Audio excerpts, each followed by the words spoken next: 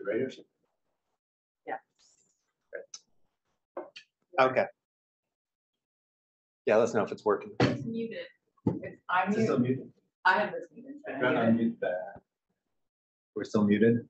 Should have just oh, muted us. Yeah. Do I want it to be green? Great. yeah. Okay. Okay, cool. Okay, welcome everyone to today's Beyond the Scope.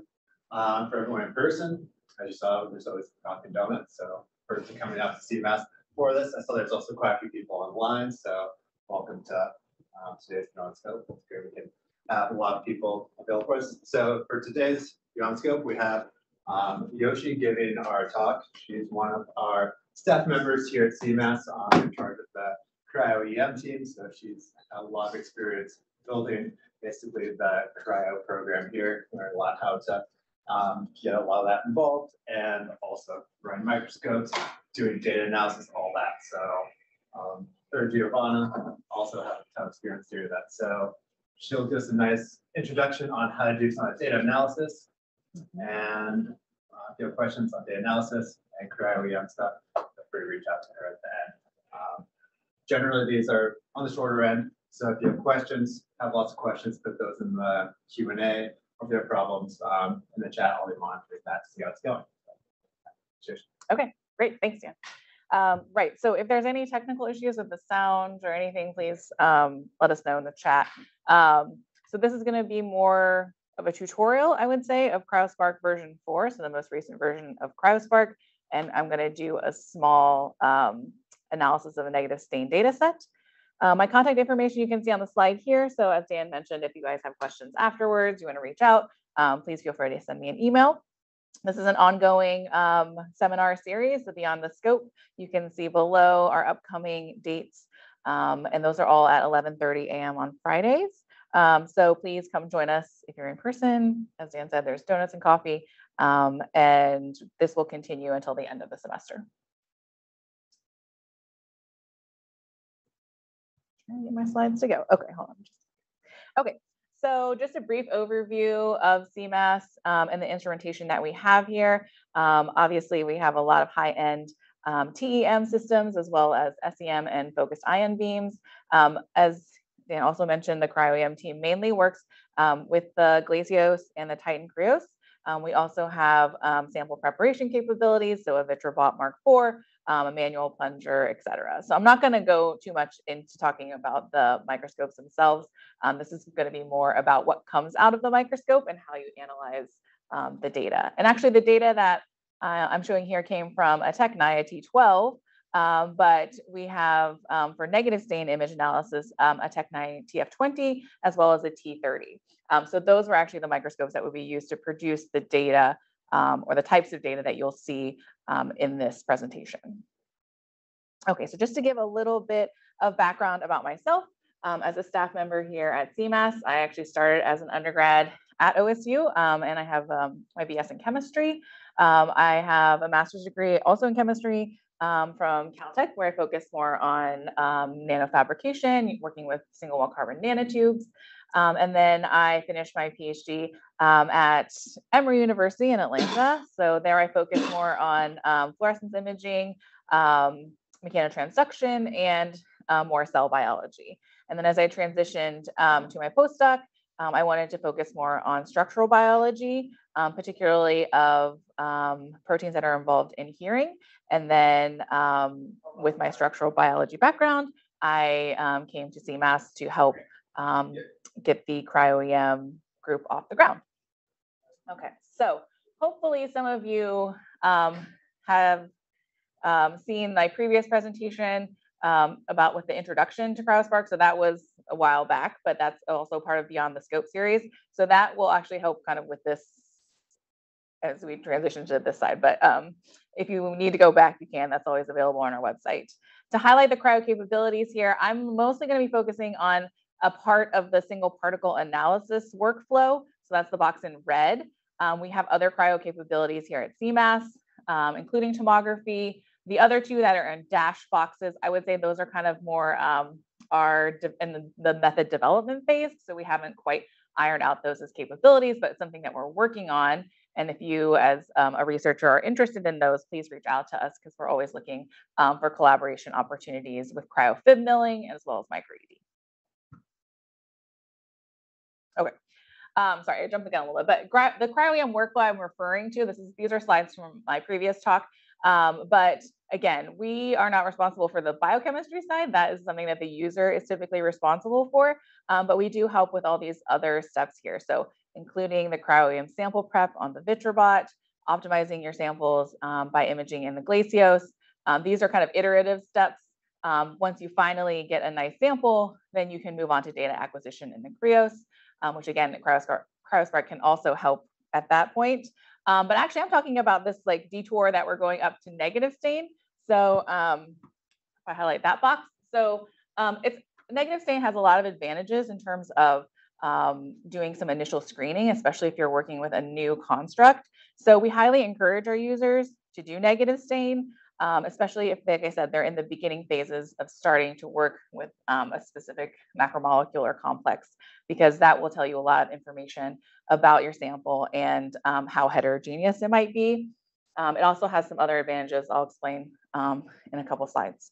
So again, we're not gonna, I'm not, I'm not gonna talk about the cryo workflow necessarily, but the data that comes out um, from negative stain. That, and these principles could potentially be applied to that bottom section as well.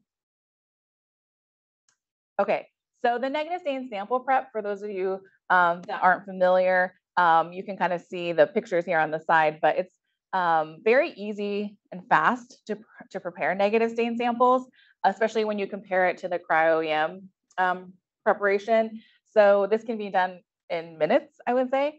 Um, so essentially what you wanna do is have a hydrophilic um, surface of essentially um, amorphous carbon. And here you can see an A and B. A just has um, a grid that has not been glow discharged. So you can see there's a large um, droplet there. Um, whereas in B, you have a nice hydrophilic grid. So you want a nice hydrophilic grid for your protein sample to spread on. Um, you use other droplets, small droplets of water to rinse off any excess sample. And then you would treat the sample in the final steps with um, a negative stain. And typically that would be a heavy metal stain. In most cases, they're uranium based. So we typically use uranyl acetate or uranyl formate. Um, but the important thing to keep in mind is that your resolution is always going to be limited by the grain size of your stain. So in theory, the best you could achieve for UA would be like, let's say four to five angstroms, but generally that's not, that's not what you would achieve. Um, we're talking like 10 to 20 angstrom resolution of your model at the end. Um, but you will see nice high contrast images. So in the center section there, you see example images um, that came from the CryoEM 101 website, where you see um, all those little light um, particles here on the carbon. Those are all particles, right? And it's all on a dark background. So that's important to emphasize is that it's sort of inverted from what you would expect for cryo-EM, where you would have dark particles on a light background. And that'll become important when we talk about um, actual data processing downstream. So like I said, it's a very fast way to determine the, the quality of your sample and how heterogeneous it is. Um, another advantage that sometimes people point out is that actually you can image these using a low KV microscope, so like a T12, for example, and that's great because it's sometimes more accessible to more users versus having um, like a 300 kV um, TEM. So, um, and then in addition, it requires less computational power to actually analyze the data. So it does have some distinct advantages um, versus just traditional cryo-EM, just jumping into cryo-EM. Okay, so I do want to point out that I am, my talk is specifically geared towards cryoSPARC for software as the software for image processing, but that's not to say that this is your only option. So there are lots of other um, open source type of um, programs that are available. Um, each person can decide, and each group usually decides for themselves what is the best option. So um, here I've just kind of listed some that are available to you, um, but I'm going to be talking specifically about cryoSPARC. Okay, so this is, these are some of these are repeat slides from my previous talk, um, but I think they're important to kind of point out. So um, the general cryo-EM workflow, So cryoSPARC is an acronym. Um, it's for cryo-EM single particle ab initio reconstruction and classification. Um, and so this is the workflow generally that you go through um, as you set up a cryoSPARC project. Um, so the first step is obviously data collection, um, and then you kind of move downward. So you do motion correction. We do pre-processing, which would be motion correction, CTF estimation. Then you curate all of your images. Then you go to particle picking, 2D classes, particle curation, and then you can build your 3D models and refine those down here. Okay. So one thing to emphasize is that we're not going to do motion correction, right? Because we don't have that for negative stain. So that's one, um, one of the main differences. Um, and this workflow will be much more simplified um, as I walk you through it.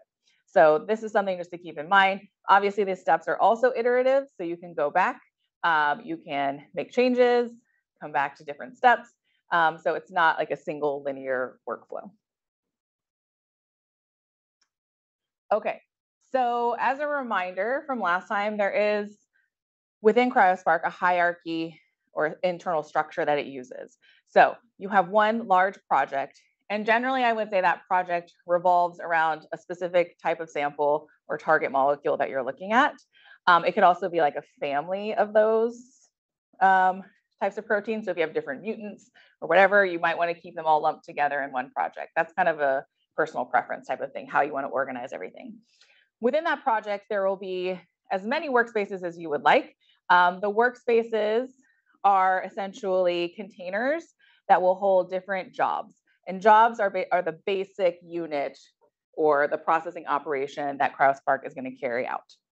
Okay, so for example, one way people might structure this is, you know, let's say you have multiple days or different days of data collection and you want to keep those separate. So you would have different workspaces for each of the different um, data collections. Um, or for example, let's say you want to try a different particle picking strategy and you want to keep those separate. Um, then you might want to create two different workspaces for that. Okay, so those are just kind of ideas of how you can organize this. But again, everyone will do it slightly differently. And that's just to kind of keep in mind of the overall structure. You can share or link jobs between workspaces, but you can't do that between projects, right? So a project is like a standalone um, item and you can't pull different workspaces or jobs from other projects, okay? So that's something important to keep in mind. So I'm gonna now switch, hopefully this will work, um, to the cryoSPARC interface that we have here on our GPU system at CEMAS. And yours should look similar um, if you're using the new version of cryoSPARC, which is cryoSPARC version four. Uh, let's see. Okay, so the first thing that you'll notice when you um, open up the new dashboard here is that um, they give you a lot of information about, um, this is probably more informative for a Linux administrator in terms of how many jobs are being run, when they're being run. Um, there's a heat map of, um, you know, the past, whatever, year or so of, of jobs.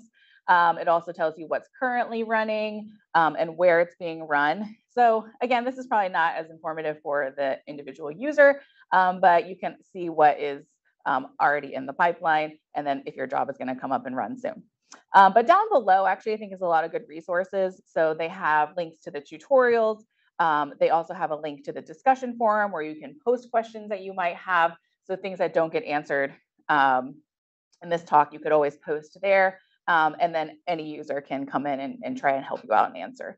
Um, you will notice that mine says that it needs an update soon. So there is a newer version that has just come out. So I should um, update the software soon and it'll tell you what is new and available in that one. Um, so that is kind of the dashboard or this home button here um, on the left. So the navigation bar on the left are sort of quick links to get you where you need to go. If I click on this um, filing cabinet here, if I click on that, that will show me all of the projects um, and since I'm the administrator here, I'll see all of the projects that have been created by all of the users um, using this software. And so we have 73 different projects going on.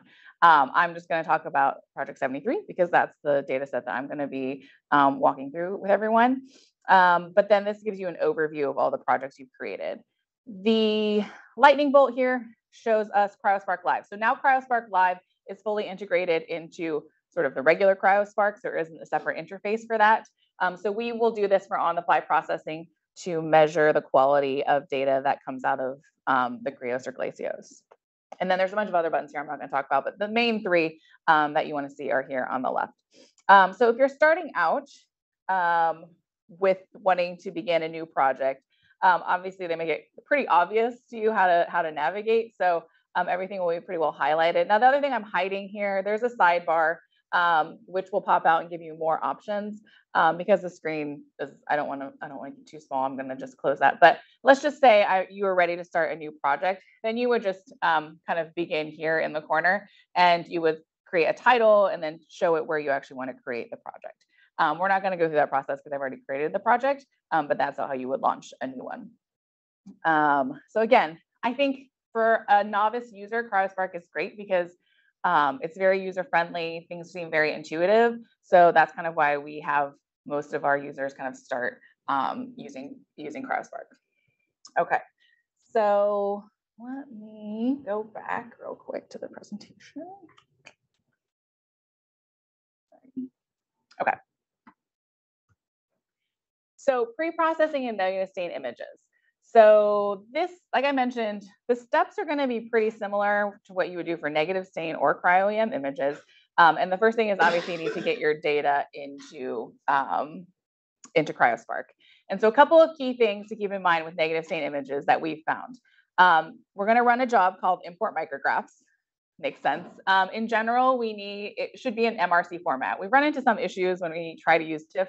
Um, so we recommend that it's an MRC you do have to have information about how the data was collected. So for example, you need to know the pixel size for the camera that you were using, um, the voltage it was collected at, accelerating voltage, um, operation, and then total dose. So those are kind of the main um, inputs that you need to give cryoSPARC. Um, the other key things are you need to do two things when you import. There is a toggle that we need to activate to tell it that it's using negative stain data and it's not cryo-EM data. So that's that one. And the second one is a second toggle, which says we need to output a constant CTF. Um, and I'll explain why that is and when we get when I go back and show. Um, so for example, like I said, when you saw the example of the images, um, for negative stain, we have light on dark versus dark on light. And so that's what that, for, that first toggle will do is it will indicate to cryoSPARC that the, the sign for that data should be a negative one. And that actually, um, that will trigger a bunch of changes within the cryoSPARC workflow. So once you click it at the beginning, it will activate that for the rest of the processing steps downstream. So you don't have to think about it anymore. Um, the second point about the constant CTF, so for negative stain data in particular, you don't necessarily want it to do CTF correction because it might um, decrease the quality of your 2D classification and reconstruction results. And that's something they just straight up tell you that cryoSPARC will, or cryoSPARC tells you um, when you import the data. So those two also need to be kind of changed from the default um, settings. So let's go back real quick. Just one second.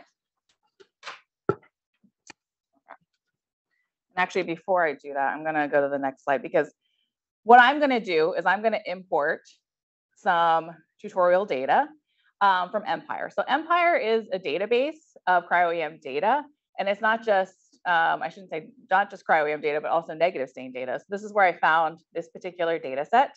Um, if you want to go download it yourself, you can. I just took the first 100 images from this data set and downloaded it for analysis. And then all those metrics that I said that we needed to know, I've listed here because that's what you have to input when we import. Um, those should all be provided for you um, either from whoever collected the data or you can get that from the instrument manager. If you're getting it from a database like this, it's typically provided um, in an XML file or a text file, something like that. Um, so these are the parameters we need to know. Um, the other thing I should say is that I highly encourage people that are new to data processing to take advantage of EMPIAR because there are there are hundreds and hundreds of data sets that you could download and practice on. So if you want to learn more about processing, you can download them. You could look at the paper, see how they did their workflow. You should be able to go through and replicate all the steps and get to the same result that they did. Um, so it's a great option to use kind of real data versus like proteasome data or like GroEL or something that's relatively easy. It's like a real data set. So um, I highly recommend, if you want to, to give that a try as well. Okay, so let's go back real quick to cryoSPARC. Okay, so as I mentioned, I already created a project here, which has the data set. So that's EMPIAR um, 10538. So I'm gonna open this. And I'm, this has three different workspaces within it, okay? And I've already created, um, so we're gonna mainly work in workspace two because that's kind of where I worked things out in the logical workflow. Um, workspace one, I was just using to kind of test different things. So let's, um, let's start, actually, I'm gonna, well, well, when I import the data, let's just create a new workspace. So I'm just gonna give it a new title, call it W4, and I'm gonna create it. Okay, so when I create a new workspace, it actually prompts me to do the thing I just told you, which is import the data. So we can just go ahead and do that. So I would just import micrographs and it's created this job here. And now we kind of need this side, uh, the sidebar that I minimized here to pop out. Um, and so we're now building this job, which is called import micrographs. And what it needs to know, right, is where the data is located. So I'm going to tell it the path for the data.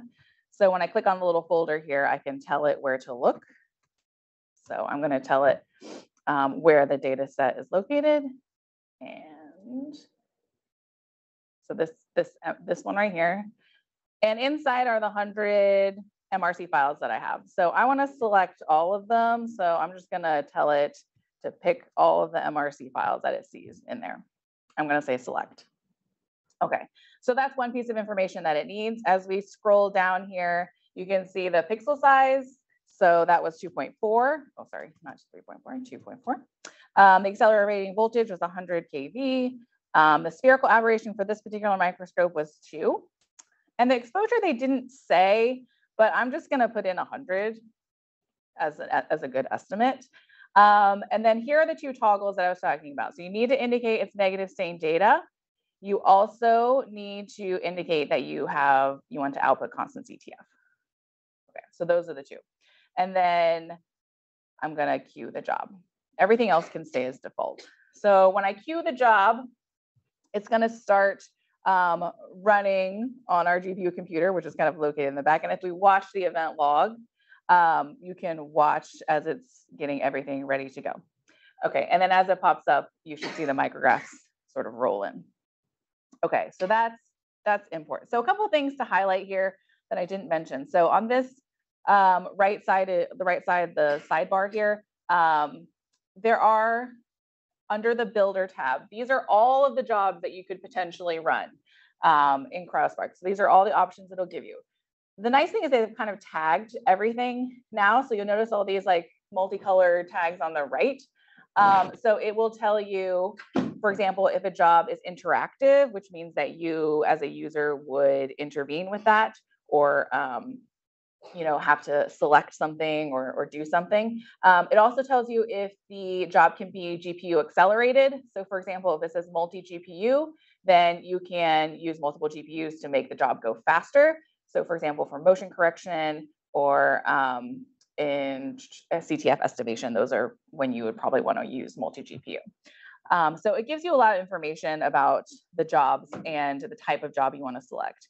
Now, I will say, as you build the job, um, or if you have a job or a job that's already here, it'll give you details about that if you click on the details tab as well. Okay, so let's go back. So that was just importing, which is pretty straightforward. Um, but you do have to make those um, those two toggles that I mentioned as you import your data. That's critical um, so that it recognizes that it's negative stain data. So the next step after this, which the nice thing is um, we have the builder right here. I'll just build it right here. Um, so the next step would actually be, um, and it's all in order, right? So I said we imported the data. We're not going to do motion correction because there's no need to do that for negative stain data. So the next step would be CTF estimation, right? So you're kind of just working down the builder list. And we're going to use the CTF um, find job here. Okay, so when I click on it, I can, it's active, I can build the job and I can make changes on the right side here. So I will thing I will say about CTF. So let's just go back to the slides real quick. Um, so the next step I said is CTF estimation. So we're going to use um, CTF find for um, to do that. Mainly what we're trying to do is to measure, I would say mostly this defocus is what we care about. Um, and the changes that we need to make here for negative stain processing is that we need to change the amplitude contrast. So the default value is going to be 0.07.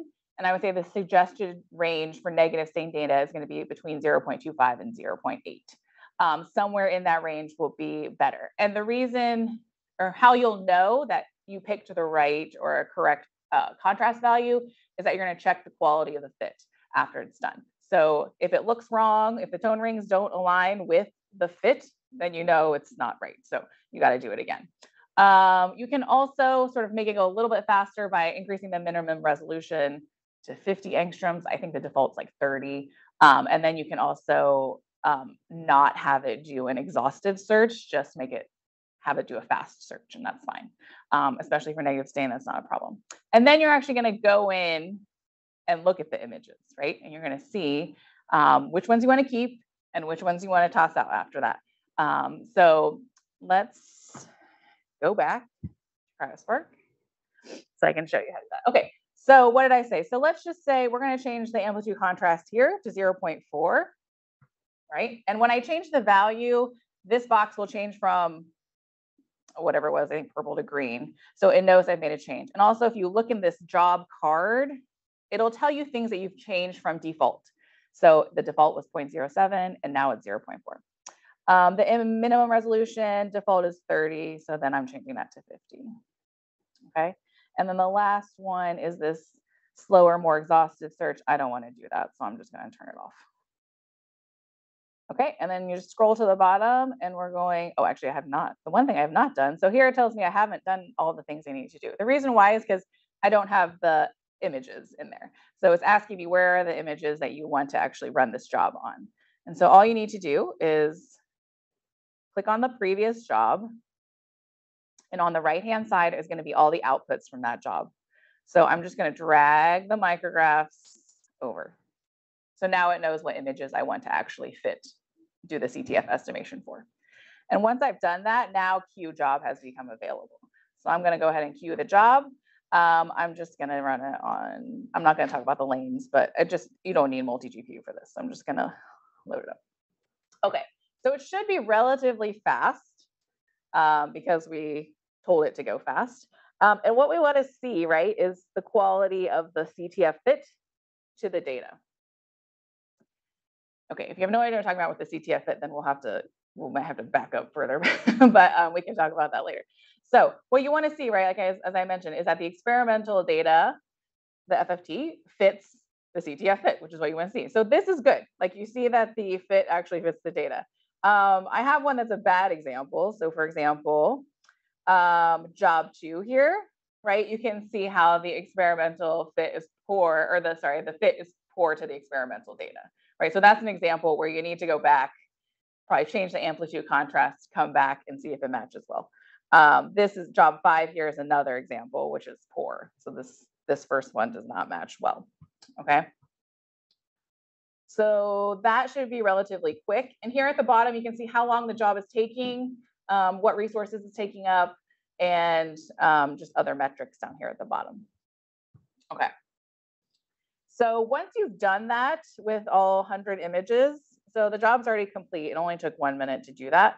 Um, the next step you would want to do, right, is you want to curate the exposures. So you want to look at the data and see which ones do I actually want to work with and which ones, you know, are we, we toss.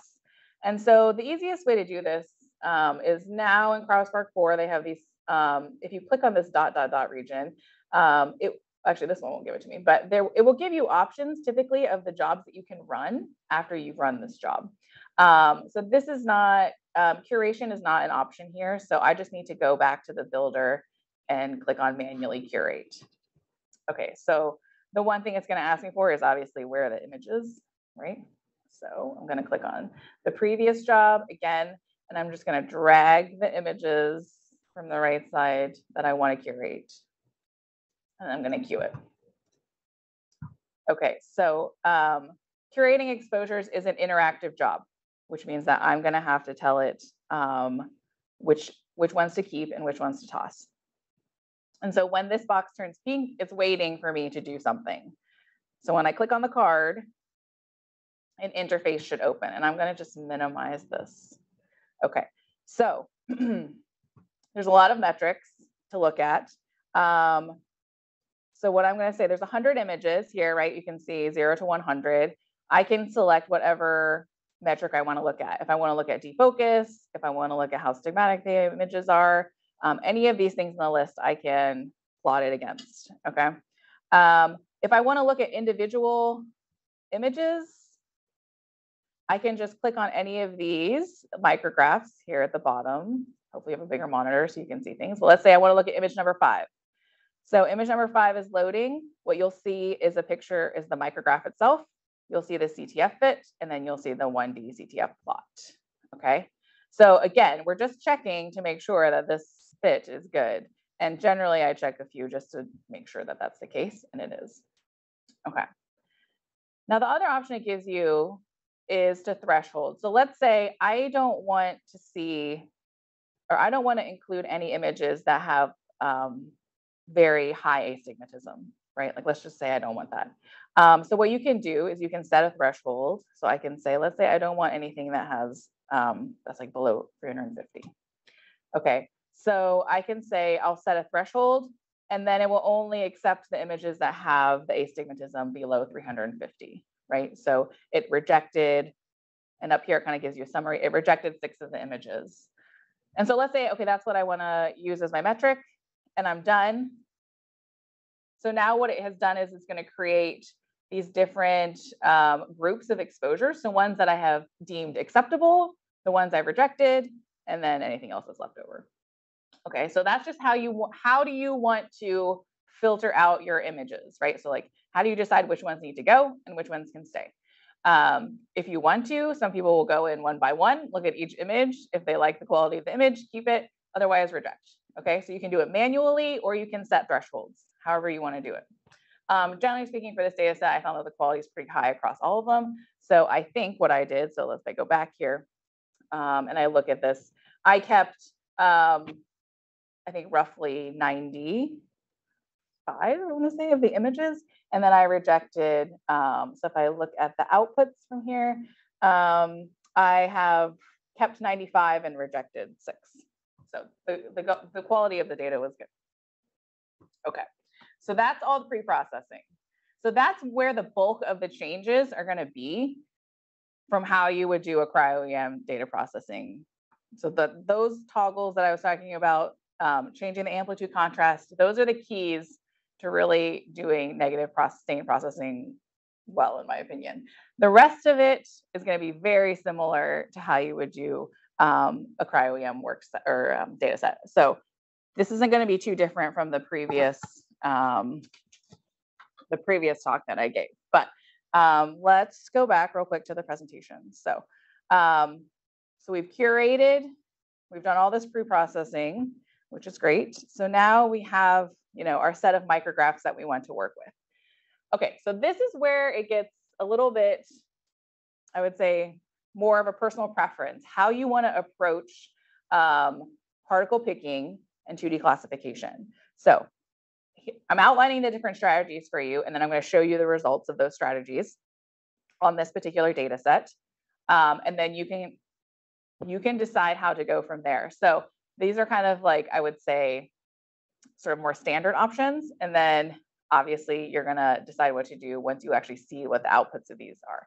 So I would generally start using a manual picker and I would pick a small number of particles from each, from not all so like a subset of those micrographs. So let's say I'm gonna pick 500 particles, um, like on 10 different images, and I'm gonna use that to generate a template.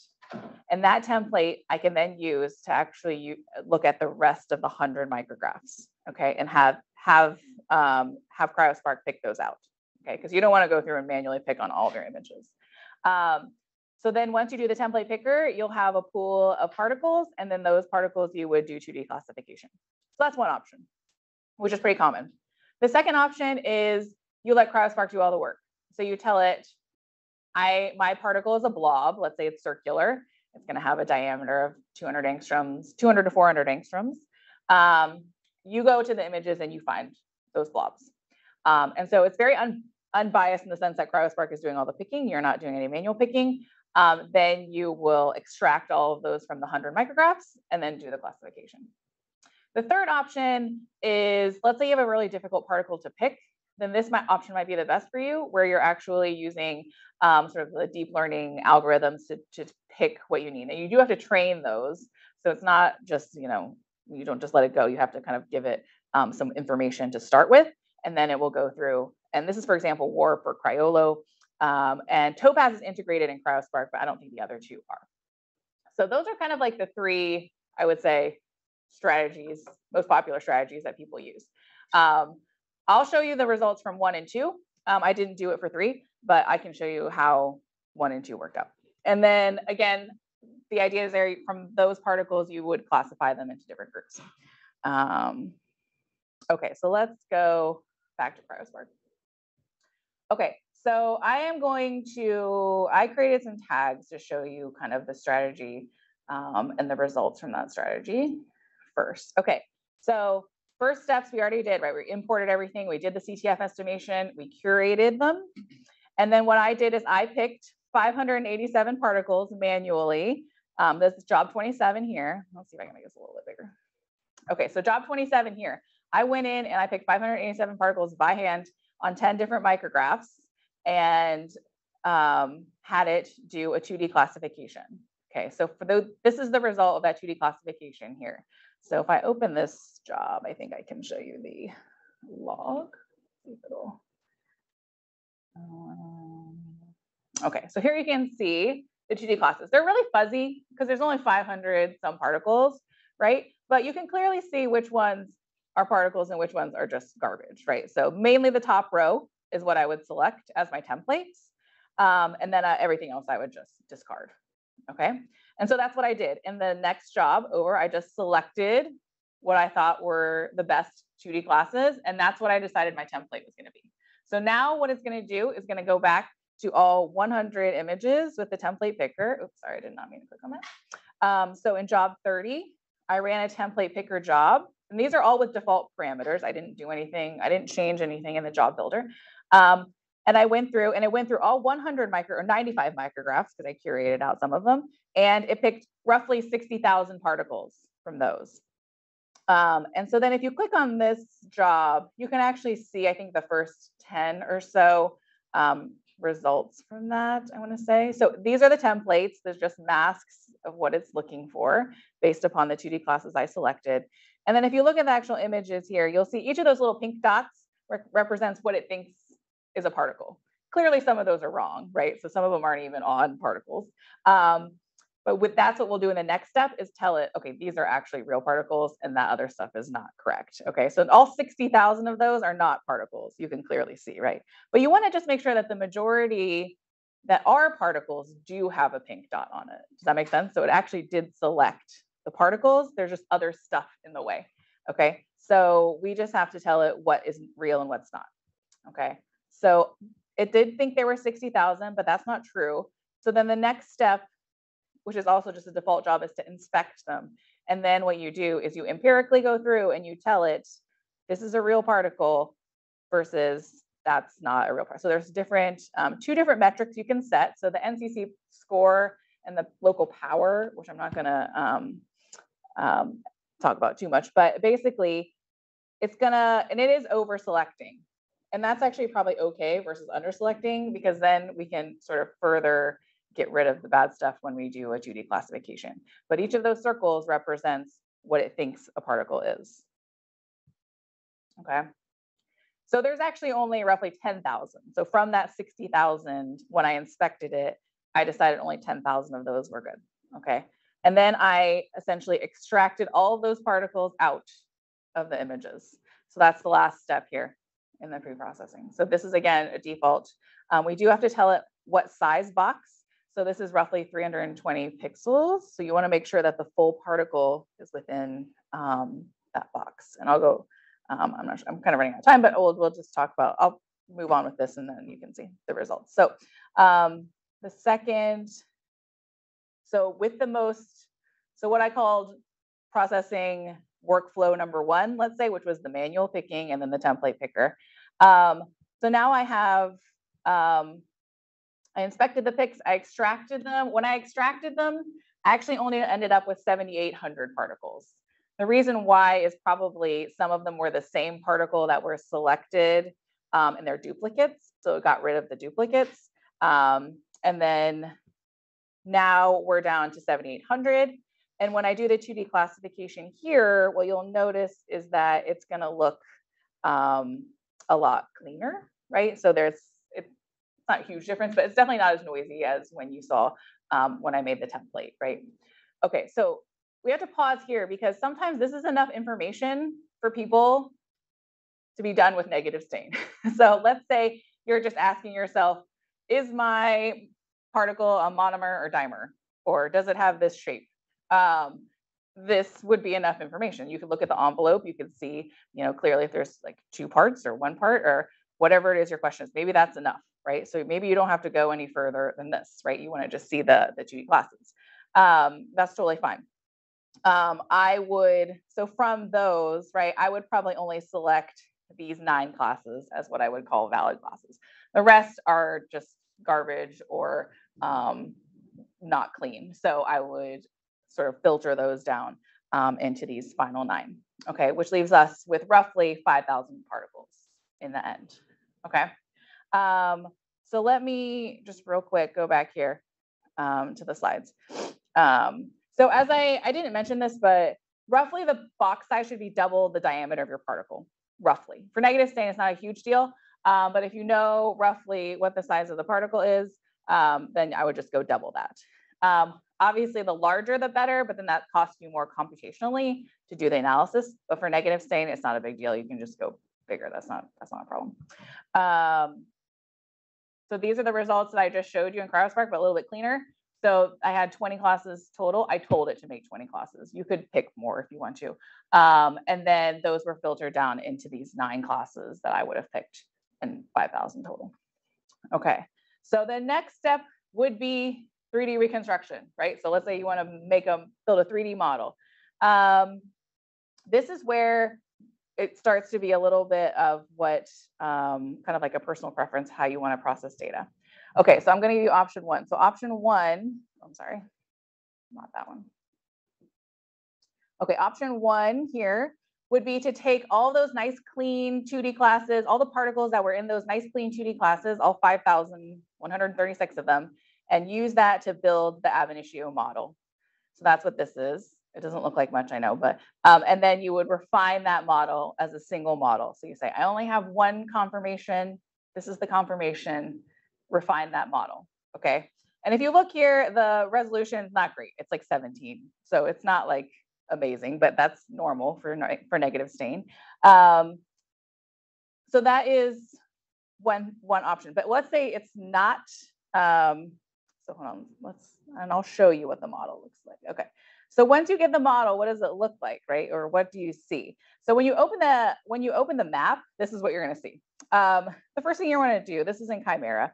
Um, I'm just going to change the step value here and then I'm going to adjust it. So we want to basically get rid of that background um, noise. But this is the, let me zoom in. Okay. So this is that 17 angstrom 3D model that it built. Okay. Which is actually very consistent with what was um, deposited into um, EMPIAR. Um, so this is what it built from those 2D classes and made a 3D model. And this is what it is. And it actually makes sense because it's like a bot, it's like a lobe that has two arms. Um, so this, and you could dock a real like crystal structure in there if you had it, let's say.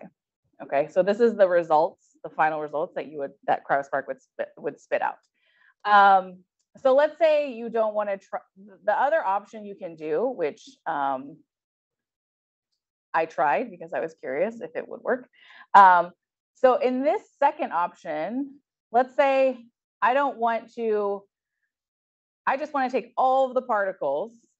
I don't care if it's like a clean 2D class or not. I'm going to take all 7,000 particles and I'm going to build a model from that. So that's the other thing. You don't necessarily, you can, you could skip over 2D classification and just build a model right away, which um, is a strategy that people have have used. So um, this final part step here where you extracted the 7,800 particles, I built a model from that. Um, and it actually ends up being pretty similar, but that's not too surprising because it's negative stain data. But for real cryo-EM data, that is another valid strategy, right? So you don't have to do 2D classification, um, but you could just jump straight to the 3D model.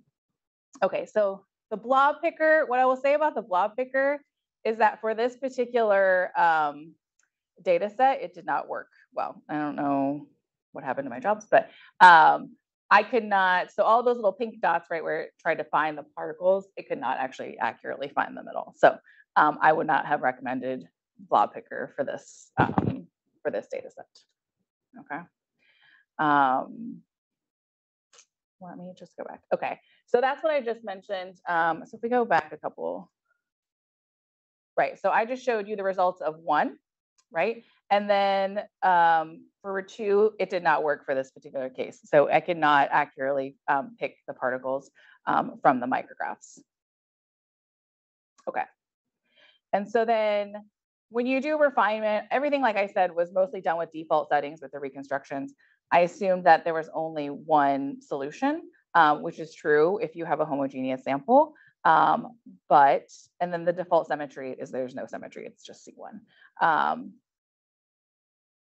and then I just showed you in Chimera how you import your map and you can just take a look at it and see what it looks like. Um, so again, this is the final map. This is what it looked like in the actual EMPIAR entry, which looks pretty close. Um, and this is the type of result that you would expect from processing negative stain data. So it's not overly impressive in terms of seeing secondary structure or anything like that, but it does give you a nice envelope to look at. Okay, actually, before I wrap up, I just wanted to mention one other thing. Um, if I go back to um, cryoSPARC. So they did um, make some nice changes, I thought, to, oh, actually, here's the blog, blog picker. I don't know why it's not showing me the correct thing. That's a bug. Okay, so I did try a bunch of different blob picker jobs. None of those was working well. It just was not um, picking the correct particles. Um, so I'll skip over that. Um, I did want to say one more thing about um, the um, the manual picker. So if I just clone this job real quick, so I'm just going to tell it to make an identical version of that job. And let's stop the filters. Okay. So, so one of the nice things they did do, um, I'm gonna just start it.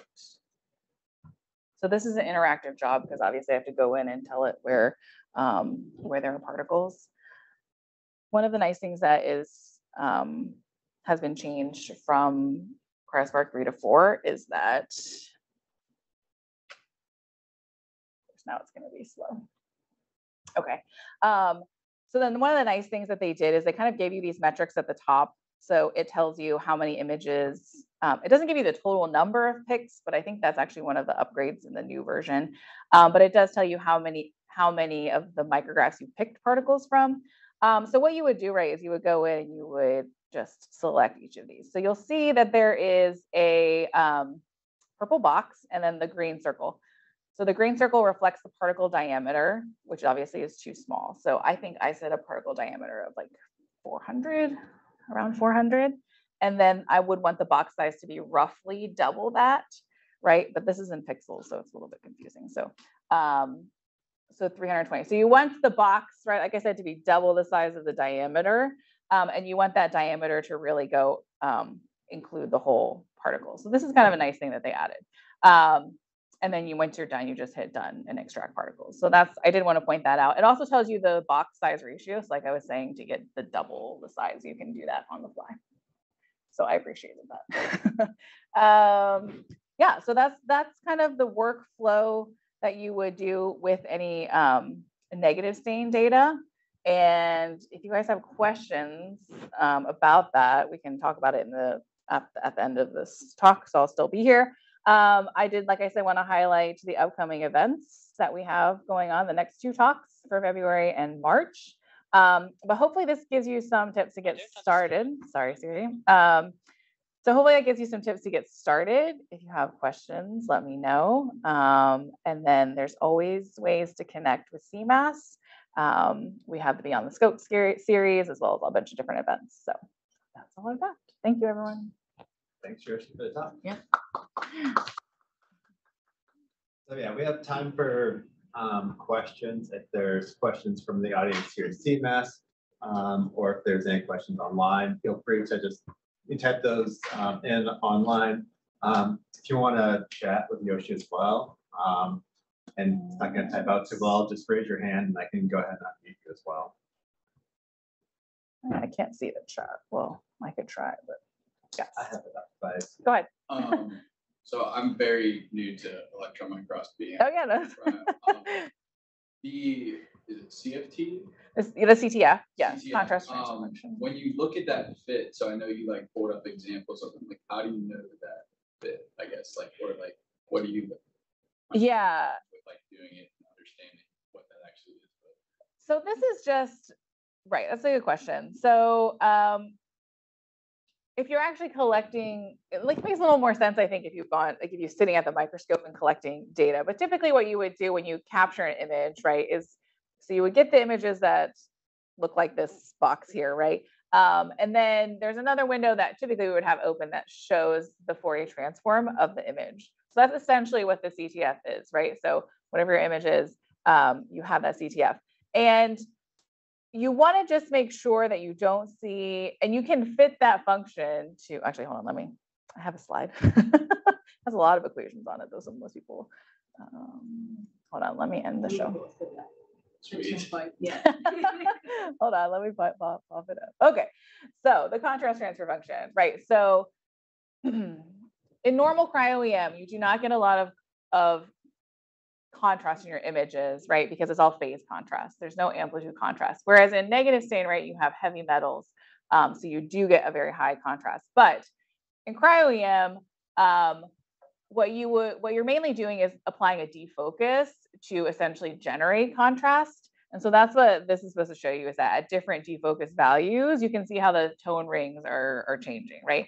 And then you see also that function that's being plotted, that's plotting that. And that is actually all included in this equation, um, which isn't like, don't freak out about it. But um, so a lot of this information we inputted into cryoSPARC, right? We told spherical aberration, um, you know, what the KV of the microscope was. And then it really depends on, um, so the defocus is key, I think. So really when we're fitting that CTF, we want to know the defocus, and then we want to see that those, that that function fits the experimental data like that. So when you saw that oscillating 1D CTF, you want to make sure that matches the experimental data. So there is a lot of math behind it, but I didn't want to go like that far into it, but it is important. It's very important to understand um, how the data is manipulated. And so again, it's I don't want people to get too hung up on it, but really like the qual. I mean, you can just tell honestly by looking at this that this, that's fine. Like the fit is is good. Um, whereas in the examples where it's very poor, um, it becomes very clear. Like okay, these there's no ring here in the center, right? So that's a, a red flag that that's an incorrect fit, right? Okay. Is there anything in the chat? I don't see in chat yet, but while we're waiting for any other questions. I have one. Yes. Um, it's just a practical question. So Yes. after you generate, after the software select the particle, Yes. when we were seeing that you had a lot of selections that they were not right. Yes. And then you say that you filter is not the word, but did you filter that? How, how do you, that? how do, I didn't understand. Yes. Okay. from, like, So yeah, let's do that. So okay, the nice thing about the new cryoSPARC Live, like I said, um, when you click on this dot dot dot, it actually tells you what you should logically do after this job, which is nice because it directs you in the right way. So I said, okay, I've I've done the template picker. This is where I think all the particles are, right? So okay, I'm gonna go in and check. Like I want to check to see if that's true. So I click on that. Um, it's starting the job, and this is an interactive job as well. Um, so once this says waiting, we'll, we'll open it. Okay, so I'm clicking on it and it should open. Okay, so if I look over here on the right, let's just give it a second to load. Okay, so everywhere there's a green dot, it thinks there's a particle. Mm-hmm. Clearly that's not right. Okay, so what we have here is a heat map that shows you all the particles.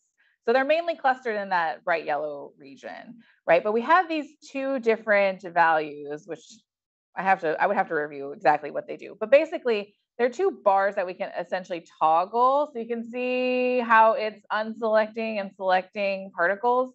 So that's why I almost feel like over selecting is okay because we can tell inspect here and tell it, okay, well, that's not quite right. So you can kind of go in, but you don't want to like start, you know, leaving out some good particles. So I would over select a little bit even here. Um, the power square, I would say, doesn't really, in this case, doesn't really do too much.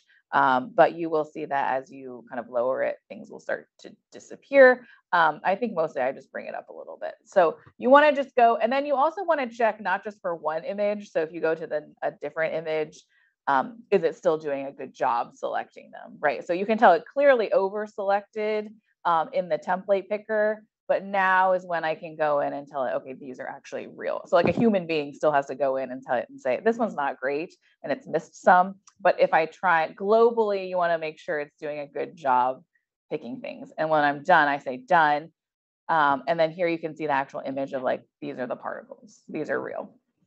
Okay. And then I think, so of those, whatever, 50,000, it's going to filter down to like 3,000 or 5,000, something like that so yeah, there are still a lot of steps where you know you have to go in and say this is a real thing um, or not. And the other thing I will say is that this sample is actually not homogeneous; it's heterogeneous, um, which means that you can actually build two separate models at the same time.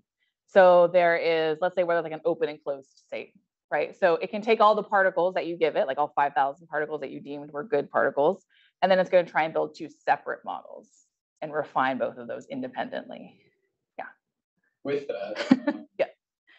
If you were specifically looking for heterogeneity, Mhm. um, would you, is there any, would you just tell it to build two models after your two D classification, or you do something in the two D classification with the classes you're putting into each model, or is it just like? Yeah, so you have a two different? Right. You have a couple options. Let's look at the builder. Um, so right, you could try, so you can try homogeneous refinement and you say, okay, I think I have two classes. That's one option. There's also these other options like heterogeneous refinement. Let's say you don't know how many conformations, then it tries to figure it out on its own, right? Or let's say something is very flexible. And so it's it, that in that case, you might want to do the non-uniform refinement where it starts to get more complicated. I would say start with the simplest first, right? And then try and figure out how many distinct classes you actually have and then keep refining from there. Because as you think about it, like your pool of particles is getting smaller and smaller as you go down. Um, and so you may not have enough information to actually be able to build a nice model once you get to that point.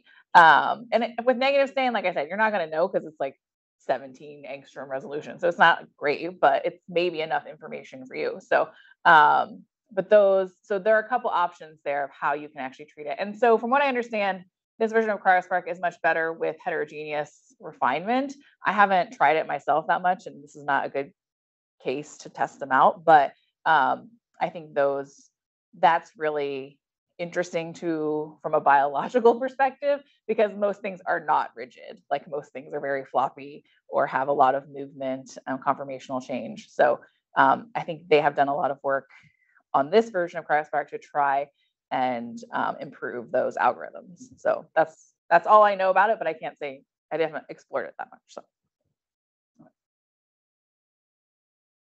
anything else? Nothing in the chat? Online's been pretty quiet. Okay. Um, I was, I was wondering, so Yes. for this talk, I guess your last talk, you used cryoSPARC for everything. Yes. So you mentioned like four or five other. Yes. right? So I was kind of wondering like, why you, prim- do you primarily use the cryoSPARC? Do you use the other ones for other things or what do you like for? Yeah, that's a good question. Okay, so I will say the main difference between Relion and cryoSPARC is the code.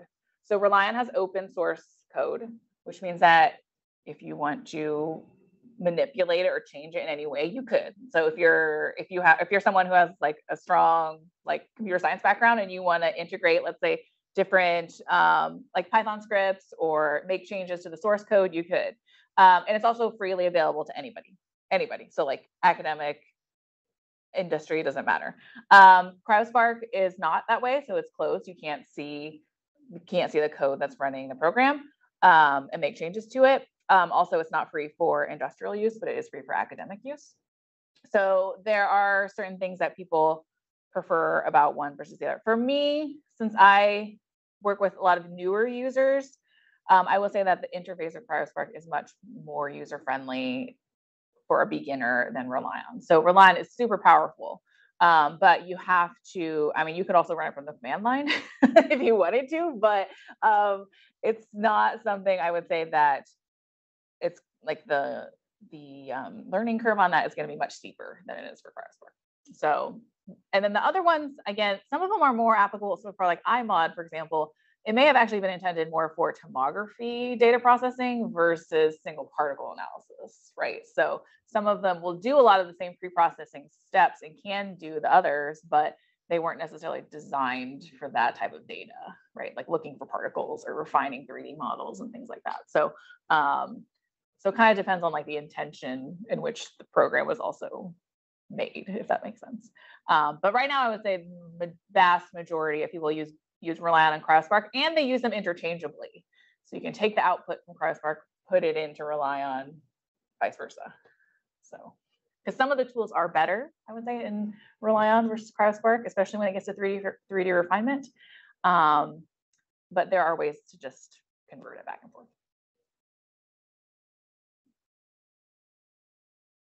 A question from online. Oh, okay. Um, asking, how much do you typically try to optimize amplitude contrast and how critical is that? Oh, that's a good question. Um, I think I ran into that problem. um, let's just say I, you'll know when it's wrong. So that's when um, that's the main thing I was changing to get. Um, so let's say, let's say, okay, so job two here, right? The CTF is poor. Let's take a look at um, the parameters that I used. So if you go into any of the jobs, you can kind of scroll down and see what you input to get that job started. So remember the default is 0.07. So this one is a poor fit, right? You can see on the right exposure. Um, and I used an amplitude contrast of 0.8. So I was at the high end and it didn't work well. So it's kind of empirical in the sense that you just try it, run the job, see if it's doing well. If it's not, you just like kill it and try something else. So I think um, for example, this one is also not great, but I think I changed it to something.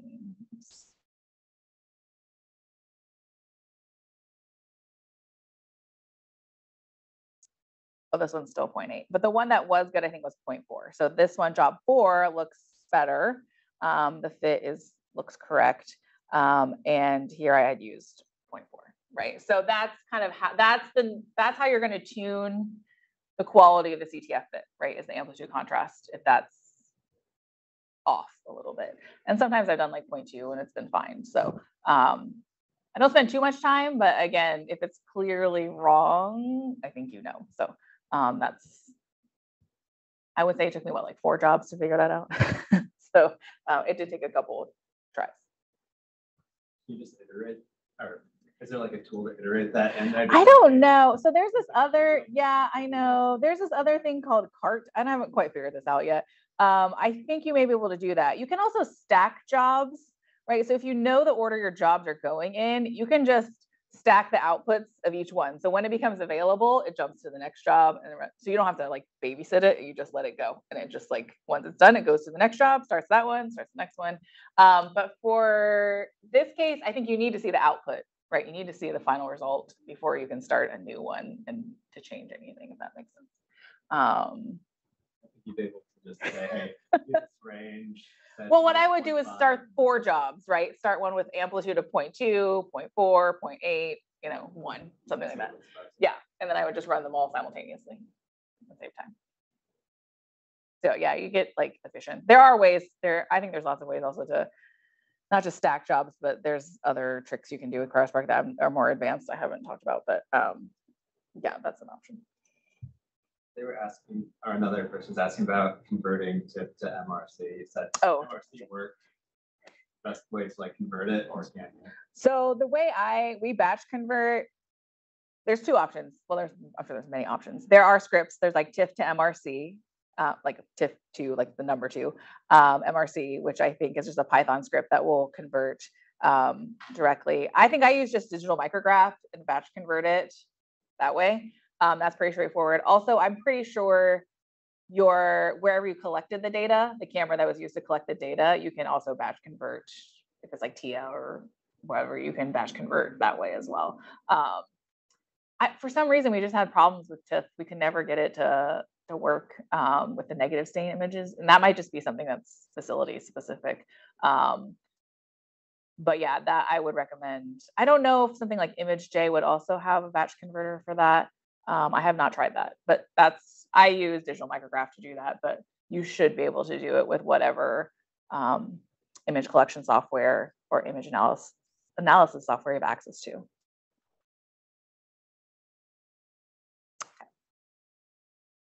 Last call.